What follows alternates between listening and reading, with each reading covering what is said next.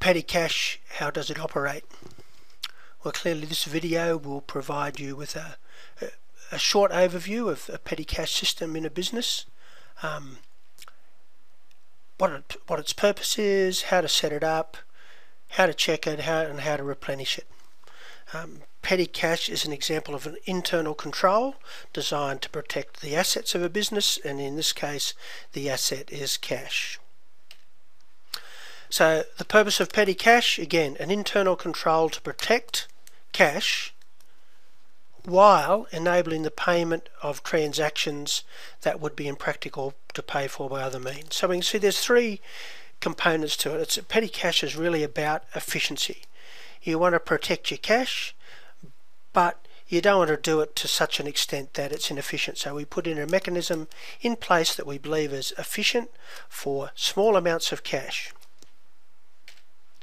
So how does it operate?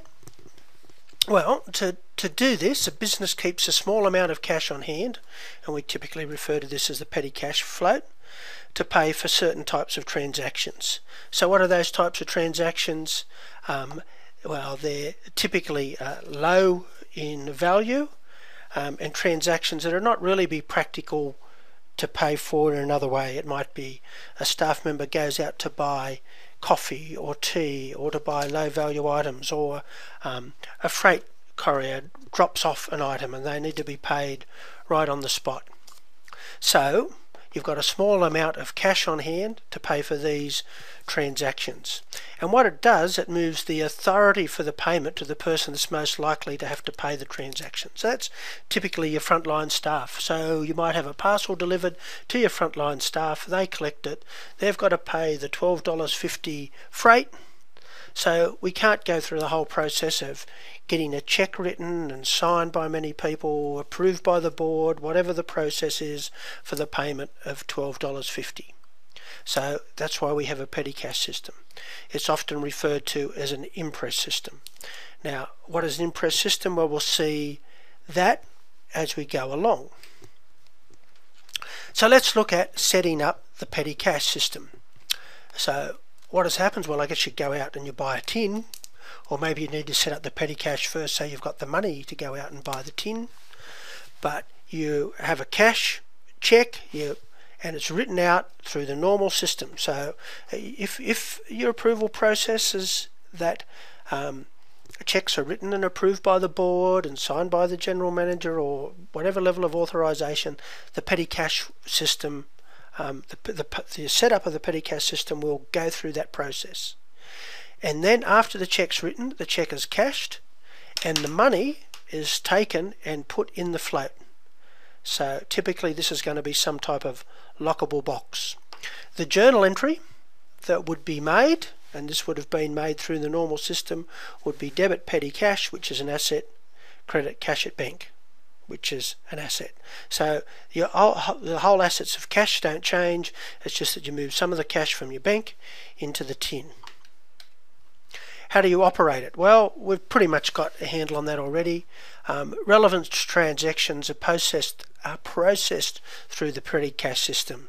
So what happens? Someone comes to the front counter, um, deliver a parcel. As we've been through this, they've they need twelve dollars fifty paid for the delivery on the par on the parcel. So twelve dollars fifty is taken from the the cash box, given to the person, um, and in the box the petty cash box, we replace it with a pre-numbered voucher. So you'll have some vouchers sitting in there that are pre-numbered um, and often in duplicate, so a copy stays in the in the uh, voucher book, and you write out you know amount twelve dollars fifty.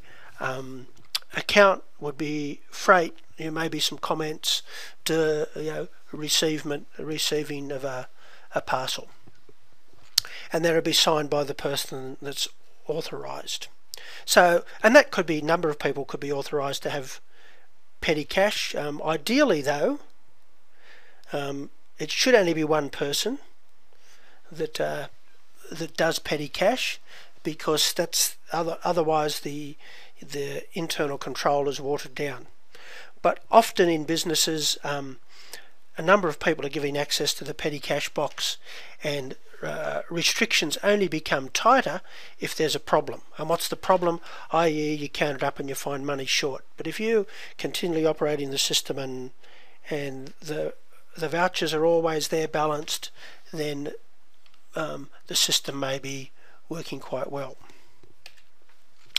Checking the balance. So what happens? So periodically, the value of all the vouchers are added up and uh, let's say you had a, um, a $200 um, petty cash balance you add up the total of all the vouchers and they say they're $120 so you would therefore expect to find $80 in cash still in the tin so the total of vouchers plus cash should always equal $200 so if it doesn't if the value of vouchers and cash doesn't equal the petty cash amount then you need to investigate why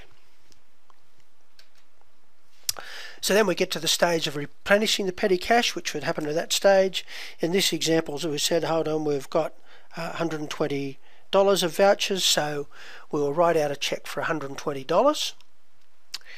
And we'll also need to divide up that $120 to say what it was paid for. So yeah, there we'd have to put the account codes on items, so we might have uh, freight, you know, $80, coffee, 25 milk 15 total 120 and so that would be the journal entry that would go in through our normal system would be you know, debit expense 1 freight 80 debit expense 2 coffee 25 debit expense 3 milk 15 credit cash at bank 120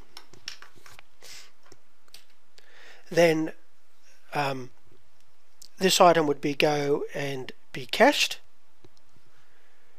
and get the $120 back. The $120 would go back into the petty cash float and um, the petty cash balance would now be back to its full balance of, in this example, we're looking at $200.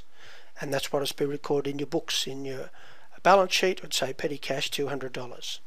Now, this process now repeats itself until the next time the petty cash is balanced there is a short overview of petty cash.